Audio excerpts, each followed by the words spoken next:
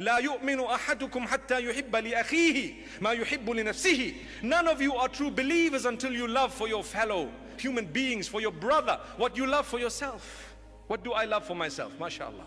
Alhamdulillah. You know, it reminds me of an incident where they say that there was a man who was told that you will have whatever you ask for.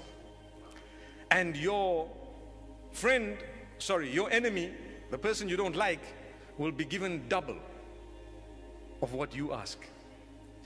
And this man was thinking, well, look, I've got an opportunity. If I say no, I don't want because I'm going to be jealous of what my friend gets, I'm going to lose out. So he says, I'm caught in a situation. Let me just start asking for things, see what happens.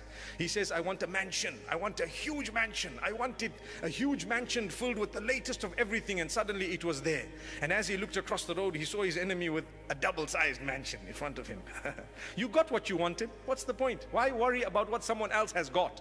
You become depressed not because you don't have enough, because you are looking at what others have got, but you have enough. So then he says, okay, I want a mountain of gold and he gets it. And his friend gets two mountains of gold and he's saying, ah, come on. Look at the dirty heart.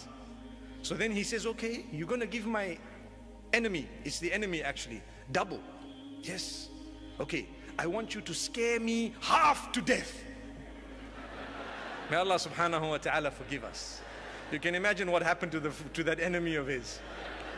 That's how bad man is. But in Islam, when we say that we love for others what we love for ourselves, we really mean it.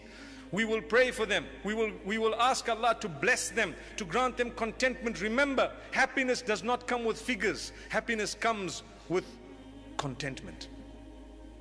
Be content with what Allah has bestowed upon you. That does not mean don't work for more. No.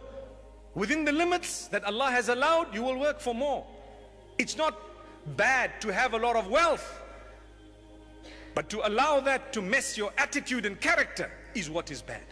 The best of people are those who have authority and wealth, and they are more humble than those who don't have authority or wealth. Those are the best. May Allah subhanahu wa ta'ala grant us strength.